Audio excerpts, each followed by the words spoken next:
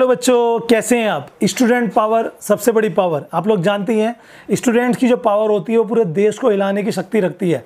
इसीलिए मैं बताना चाहता हूँ, बहुत बड़ी खबर है आपके लिए। आप चाहे किसी भी स्टेट बोर्ड से हैं, या आप C B S C I C S C N T S C या फिर आर बी एस सी कहीं से भी हैं या फिर आप किसी यूनिवर्सिटी के स्टूडेंट्स हैं तो वीडियो आपके लिए बहुत ही खास है, क्योंकि मैं बताना चाहूँगा हमारे शिक्षा मंत्री श्री रमेश पोखरियाल निशंक जी, जिनको जो हमारे नियर बाय हरिद्वार से बिलोंग करते हैं, और मैं उन्हें बहुत अच्छे जानता हूँ they are very dedicated about their work और उन्होंने कहा है कि पेरेंट्स और बच्चे जो बहुत परेशान हैं अपने एग्ज़ाम्स को लेकर, आप लोग भी जानते हैं, लगातार मुझे कमेंट करते हैं, आप इंस्टाग्राम पे और व्हाट्सएप पे मुझे मैसेज करते हैं, कि सर हमारी कॉपी चेकिंग का क्या हो रहा है, सर हमारे बैक पेपर का क्या होगा रिज़ल्ट का क्या होगा है ना जी? और कहीं ना कहीं जो एग्ज़ाम्स बचे हुए हैं उनका क्या होगा? सो so, ये सारे क्वेश्चन आप मुझसे नहीं डायरेक्ट मंत्री हैं उनसे कर सकते हैं।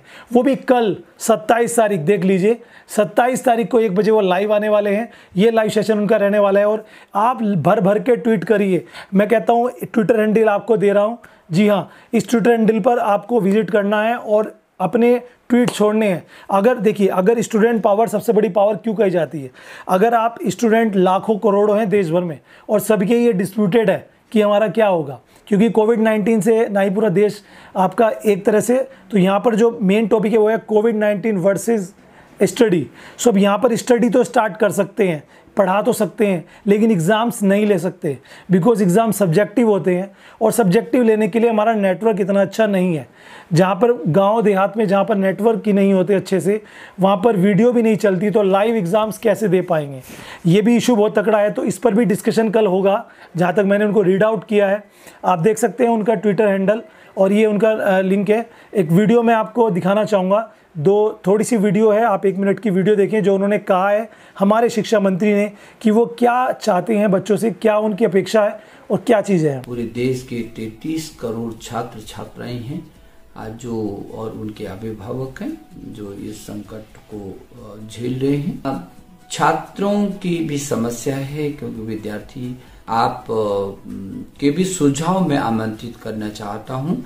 आ, मैं ज़रूर चाहूँगा कि आप अपने सुझाव जो भी आपके मन मस्तिष्क में हो वो सुझाव ज़रूर हमारे साथ सोमवार को मैं सीधे आप लोगों के साथ सीधा संवाद करना चाहूँगा। मन में जो भी सुझाव आएँगे जो भी आपके मन में कुछ ऐसे बातें होंगी कुछ सवाल होंगे कुछ सुझाव होंगे तो उसको हमारे साथ मेरे मंत्रालय के ट्विटर पर या मेरे ट्विटर पर आप ज़रूर और ज़रूर करके भेजेंगे ताकि सोमवार को उन विषयों पर सीधा आपसे मैं संवाद स्थापित कर सकूँ।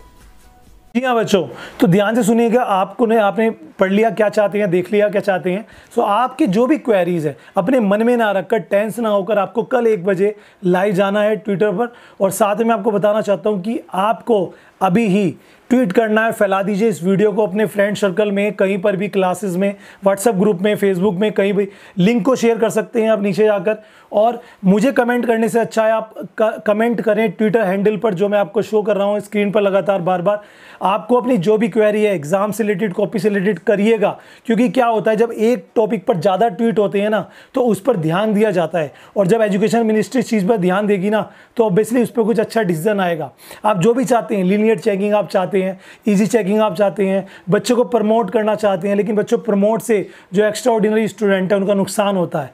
तो जो भी अच्छा हो, जो आपको सही लगे, आपके पास जो भी सजेशन है, वो आप दे सकते हैं। सो कल एक बजे स्टेट्यून बने रहिएगा और अपनी इस वीडियो को फैला दीजिए जिससे कि सबको पता लग जाएगा और सभी एक बजे एजुकेशन मिनिस्टर की वेट करें। Thank you